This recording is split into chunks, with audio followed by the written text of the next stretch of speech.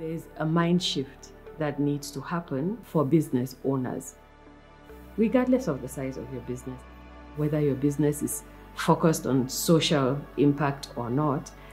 Any for profit business needs to be mindful.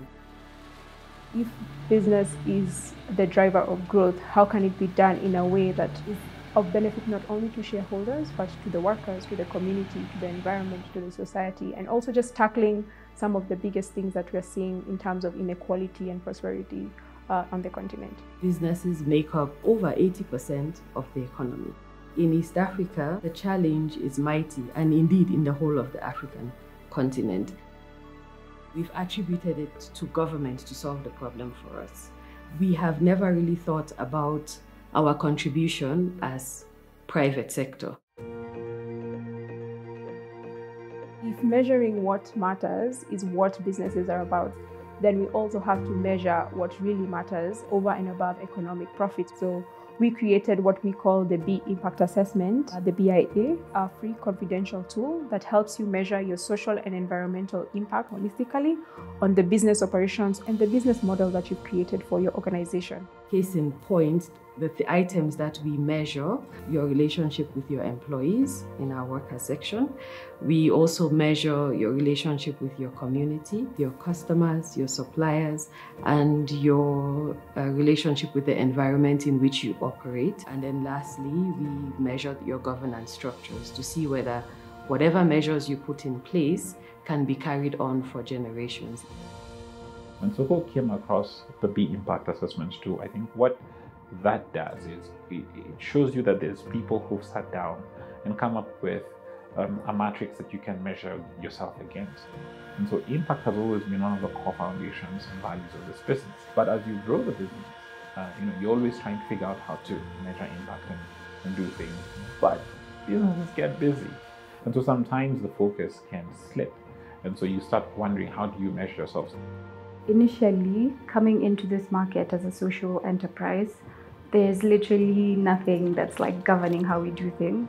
After the BIA, I would say the biggest change for us is structures, not just around uh, issues of impact or environment, but also our own internal structures, so around operations. So right now, I'd say um, we are actively measuring ourselves against our targets.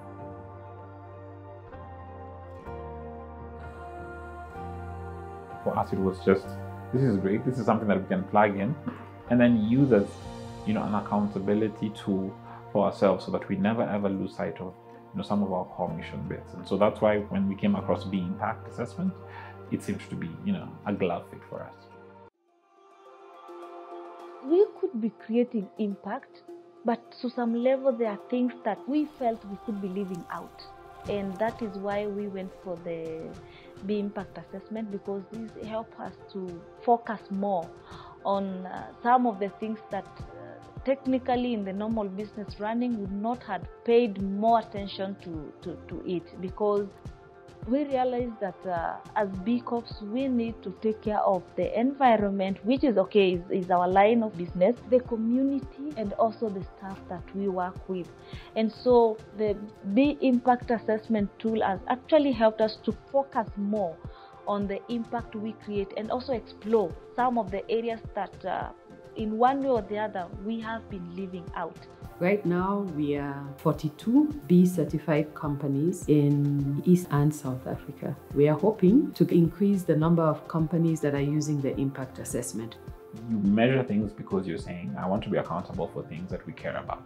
Um, so, if you really care about something, but you have no accountability around it, uh, that that communicates what you really think about that thing take the impact assessment test. Um, you will be able to tell what you're doing well and what you're not doing well.